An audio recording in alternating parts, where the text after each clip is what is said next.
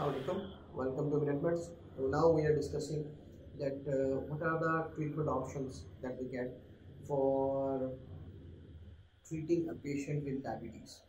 ठीक है तो हम बात ये करते हैं कि पेशेंट इसको हमने सस्पेशन कर ली कि दिस इज़ पेशेंट को हमने लेबल कर लिया है this the patient who is diabetic तो हमारे पास ट्रीटमेंट क्या हैं सबसे पहले शुरू करते हैं कि क्या लाइफ स्टाइल मॉडिफिकेशन हो सकती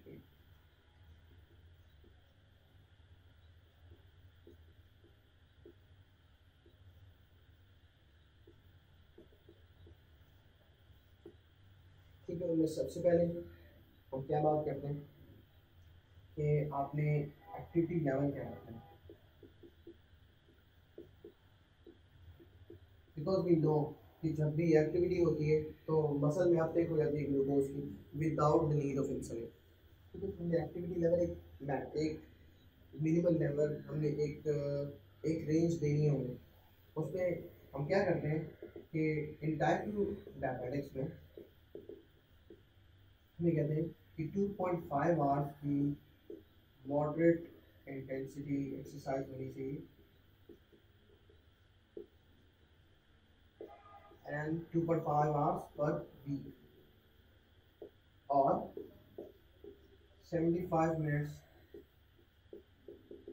of high intense intensity exercise and ये पर वीक है। दिस इज़ द मिनिमम ठीक? दूसरा हाँ रिगार्डिंग द टाइप वन यहाँ पे हमें प्रॉब्लम होती है, क्योंकि टाइप वन वालों में there is no such thing as कोई इंसुलिन रेजिस्टेंस वाली बात नहीं या इंसुलिन है ही और जब भी आप पेशेंट को एक्सरसाइज के लिए कहेंगे तो क्या होगा? शुगर लेवल्स कैन ड्रॉप तो यहाँ पे आपने दो चीज़ें करनी होती है। इफ़ इफ़ यूर एडवाइजिंग यहाँ पे आपने फिर दोनों को सी यहाँ से टेलर करना है, या they should be advised to have a carbohydrate snack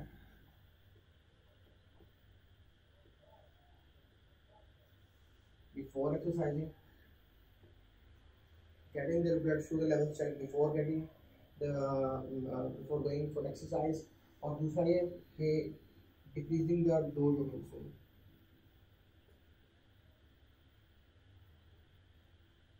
फिर सबसे पहले आपने बात कर लीजिए एक्टिविटी लेवल आपने देन और हम क्या कर सकते हैं? स्मोकिंग के बारे में क्या करना है?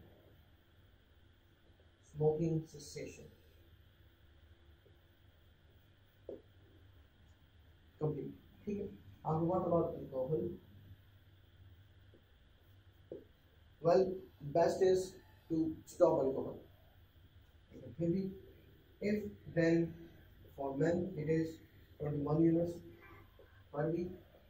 And for women 14 years. Now हम उस तरफ़ जाते हैं। सबसे इम्पोर्टेंट कंपोनेंट एक एक डायबिटिक को डायबिटिक पेशेंट को मैनेज करने के लिए, वो है डाइटरी काउंसलिंग उसमें हमें जो भी बताना है वी हैव टू डिवाइड के क्या आपके फ़ूड के कंपोनेंट जो है वो कितने होने चाहिए, किस लिहाज से आपने तो हमने बैटरी काउंटिंग किस तरह करनी? हम सब कुछ क्यों करते हैं? वेट मैनेजमेंट के लिए।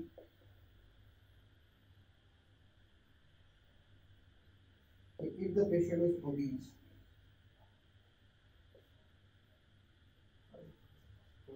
is obese target क्या होना चाहिए?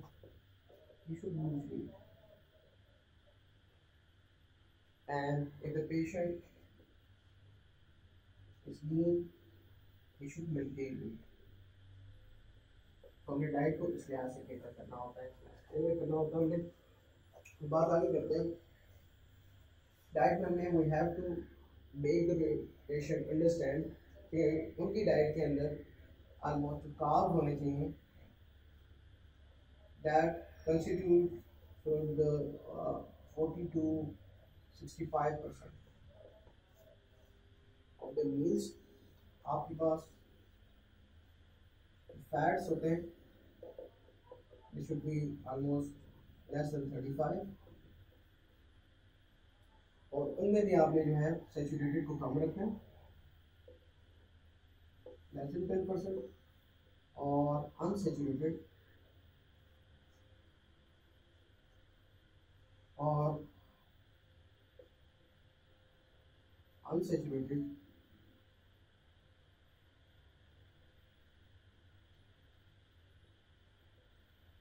less than twenty five और रेस्ट हमारे पास जो रह जाता है। about five to ten percent है। That are proteins. These are the initial, बहुत ज़्यादा जगह पे अभी भी जो patient is newly diagnosed as diabetic तो पहली चीज़ जो की जाती है that is life style modification आपने वेट रिड्यूस करना है एक्टिविटी लेवल इंक्रीज करना आपकी डाइट इंक्रीज करनी है। लेकिन somehow you have to go to the drugs क्योंकि एक चीज़ याद रखिए डायबिटीज़ की मैनेजमेंट में कि first time in life patient का ब्लड शुगर लेवल जो हैं, वो उस थ्रेशोल्ड को पार कर जाते हैं, जिसको हम कहते हैं कि पेशेंट डायबिटिक हो गया। जिस तरह की हमने बात की कि random blood sugar greater than two hundred अगर एक दफ़ा भी आए, या आपका fasting blood sugar level greater than one twenty six milligram per decilitre एक बार भी आ जाता है। It means that fifty percent of your pancreas has destroyed, is destroyed. ठीक है? जब ये चीज़ हो गई है, और फिर इसके बाद अब एक प्रोसेस चल पड़ा है। टाइप वन में यही फिफ्टी परसेंट जो डिस्ट्रॉय होंगे मल्टी सेकेंडरी डॉट होंगे एमिटीज और आपके पास टाइप टू में ओवर प्रोड्यूस कर करके इनसेंसिटिविटी होने की वजह से दे गेट एग्जॉस्टेड तभी दे गेट नेक्रोज अपॉप्टोसिस हो गई तो जब पेशेंट फ़र्स्ट टाइम आपके पास प्रेजेंट करता है, या फ़र्स्ट टाइम उसकी ब्लड शुगर लेवल जितनी आती है means fifty percent of the is you have to make this clear to the patient when he और शी इज़ न्यूली डायग्नोज और ये प्रोसेस यहाँ रुकता नहीं। It has to go much much further और किस तरह जाता है? कि every year about five to ten percent pancreas में मजीद डिस्ट्रॉय होना हो। तो इसका मतलब है, आया वी हैव फाइव और we have ten years after which we practically behave like कि we have no insulin this usually doesn't happen कहीं ना कहीं ड्रग यूज़ कर रहे होते हैं, लेकिन पेशेंट में इस तरह हमारे पास आते हैं। तो ये आपने पेशेंट को समझाना होता है। दैट्स वाई हम ये नहीं कह सकते कि whole life you have to stay on this life case में you can get better you have to go for drug therapy अब हम बात करते हैं कौन कौन सी हमारे पास ट्रीटमेंट ऑप्शन क्या है इसके लिए।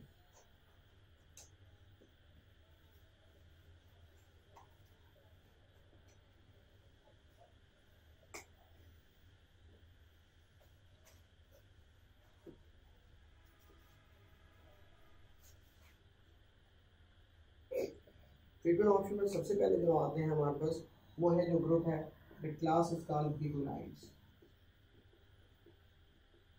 और जो हमारे पास अवेलेबल जो ड्रग है, इस ग्रुप के अंदर single drug name as metformin generally metformin general इसका रोल है it is an insulin sensitiser ठीक है। it decreases the glucogenesis decrease the production of the glucose ठीक it decreases the absorption of glucose from gut एक बन नहीं रहा एक एब्जॉर्ब नहीं हो रहा और तीसरा क्या है it increases the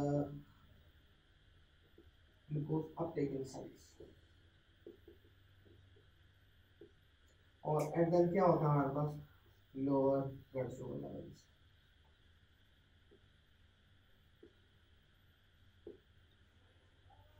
almost up to two percent तक H B A one C में ड्रॉप आता है बाई यूज़ ठीक है? और करते हैं हमने यूज़ तो कर दिया हर ओवर पेशेंट के लिए हम ये यूज़ करते हैं हर उस पेशेंट में जो टाइप टू वाला है जिसमें इंसुलिन इंसुलिन इनसेंसिटिविटी होती है और we give this they get better अब हम बात ही करते हैं कि what is the dose what are the side effects of this drug when what are the contraindications dose हम start करते होते हैं 500 milligram twice daily मैक्सिमम लेके जा सकते हैं 2.5 ग्राम्स पर डे का ठीक है? एक चीज़ याद रखिए, इसका कॉमन है साइड इफ़ेक्ट जी आई है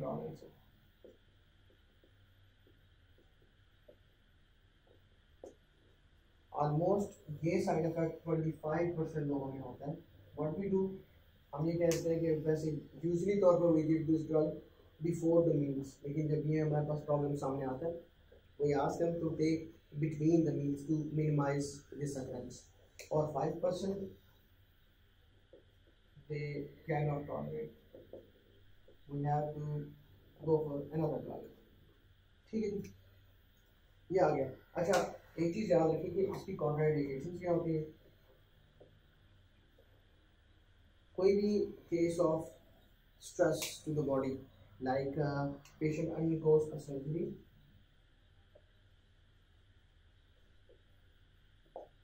infection like or myocardial infarction. In this case, we switch the patient to insulin because the use of metformin can lead to a condition called lactic acidosis. Very rare, but can lead to. और last बात जो हम इसमें करते होते हैं इसकी clearance mostly इसकी क्लियरेंस जो हमारे पास it has renal system circuit. So we have to uh, decrease the dose to half. अगर हमारे पास जो किलोमीटर फिल्ट्रेशन रेट जो नॉर्मली तौर पर 120 एम होता है पर मिनट पर 1.73 मीटर स्क्वायर अगर ये हमारे पास 30 टू 45 एम के दरमियान आता है we have to half the rules. और हम स्टॉप कब करेंगे? हम स्टॉप इस बात को कर देंगे इफ़ ये for falls below 30 so less than 30 stop. हम बात करते हैं कि what are the other treatment options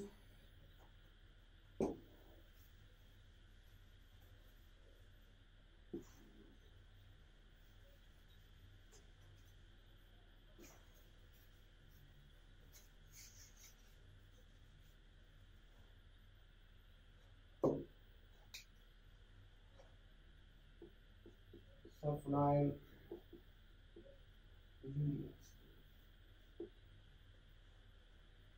What are the uh, different names under this category?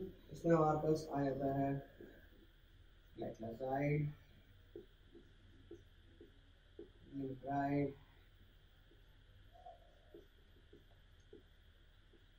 ग्लावेंफ्लामाइड और इसका mechanism of action है? It practically it is a secretive gall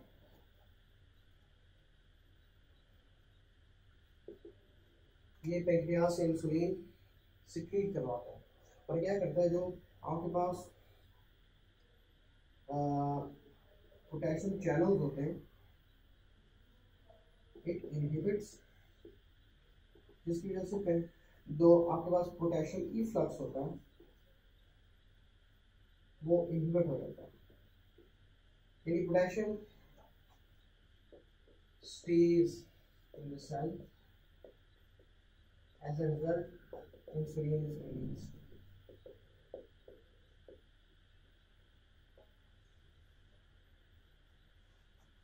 तो हमारे पास जो टाइप टू के डायबिटिक पेशेंट हैं उनमें हम ये लेते हैं।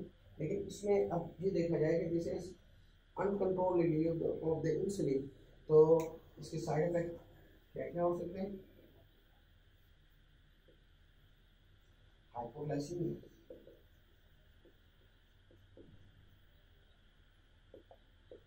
और सेकंड इसका है weight gain insulin insulin is a, acts like a growth hormone causes weight What are the contraindications? Usually in multi-organ failure like liver or the kidney failure, we usually don't use this drug. Your mother, we have multiple options. They say, again, this is the usual thing. That we kidney and liver failure, we don't use this drug. So, moving on to the next group.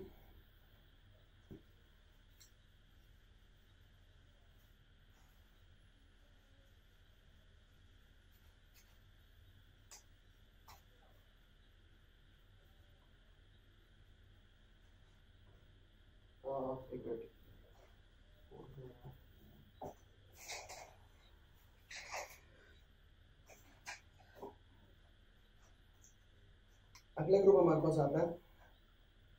Alpha glucosidase inhibitors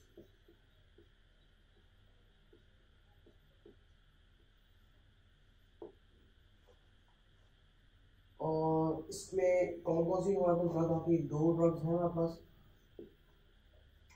एक आर्बोज और रिबीटॉल okay जी ये mechanism of action इस drug का क्या है actually inhibits the absorption of carbohydrate from that.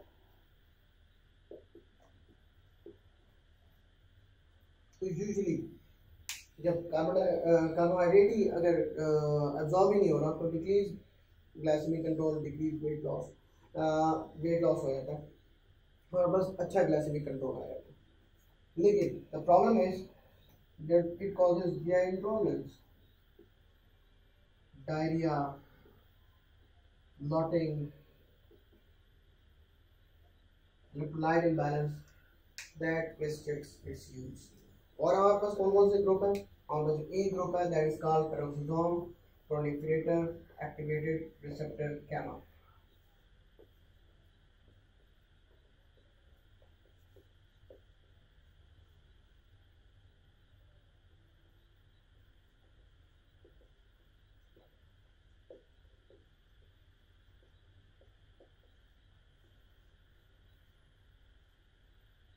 और इसमें हमारे ग्रुप में कौन कौन सी ड्रग्स आती हैं? We have in market is पायोफिटर on other is रोजी डेटा और एक्चुअली करता क्या है कि लाइक प्लेटफॉर्म है it increases the insulin sensitivity लेकिन प्रोजेक्टोजोन due to some reason it was made off market पायोक्रेटोजोन भी it still use but it has certain side effect इनमें एक आया था कि it causes fluid retention fluid retention it can lead to heart failure और दूसरा था pioglitazone it may lead to the carcinoma of the bladder और last जो उसका साइड इफ़ेक्ट होता है that is fracture pathological fracture is all about peroxisome uh, proliferator activated receptor gamma now हम अगले ग्रुप की बात करते हैं।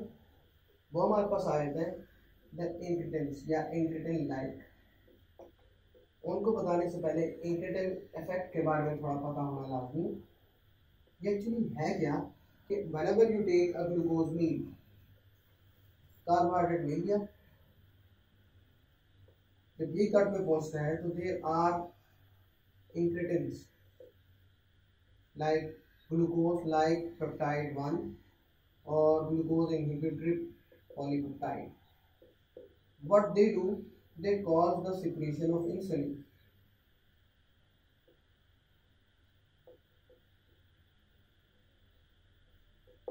लेकिन हमारे पास होता क्या है डायबिटीज़ कि इनक्रिटिन इफ़ेक्ट जो है this is disturb that's why हमारे पास इंसुलिन की सिक्रीशन होती नहीं है। दूसरा इंसुलिन सेंसिटिविटी भी होती है।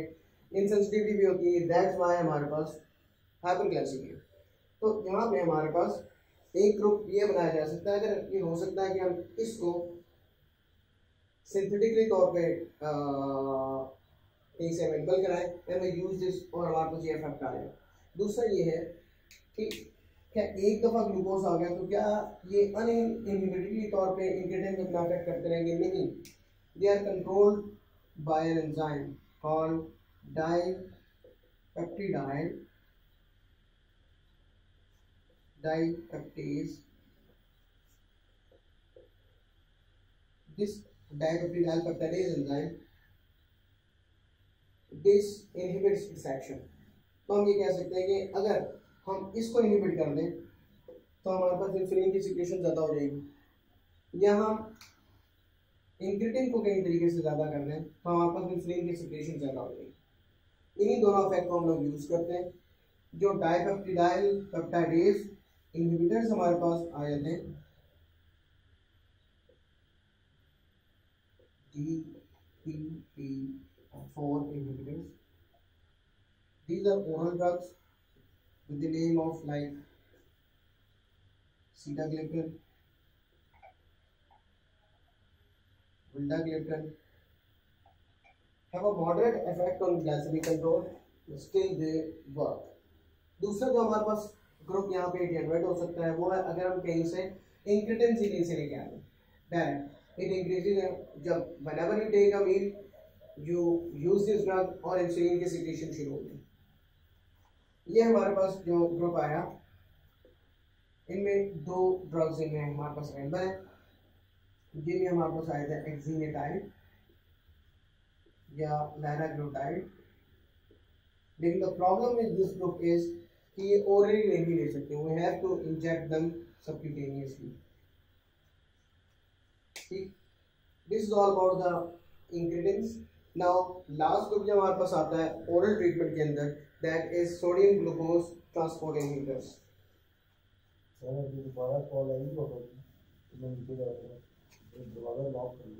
पास एक मिनट का आता है। एक मिनट का आता है। So the last group is sodium glucose transport to inhibitors. We know that जो भी हमारे पास ग्लूकोज लोड फ़िल्टर होने के लिए ग्लूकोलस में जाता है अगर ये ग्लूकोलस बनाते हैं, और ये प्रॉक्सिमल कन्वर्टेड ट्यूब्यूल है। यहाँ जितना भी है इसका लोड मेनली 75 परसेंट यहाँ से एब्जॉर्ब हो जाता है। आपका ग्लूकोज आपका वाटर वट एवर इलेक्ट्रोलाइट यहाँ से सारे के सारे रीअब्जॉर्ब हो जाते हैं।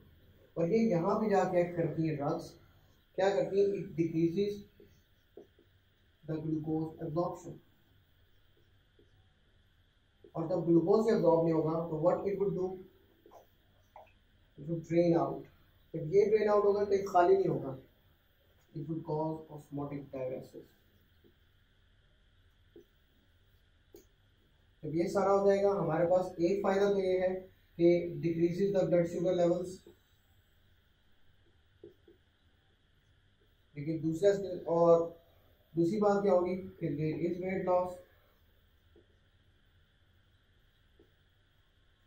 लेकिन ये इसको साइड इफेक्ट्स आते हैं।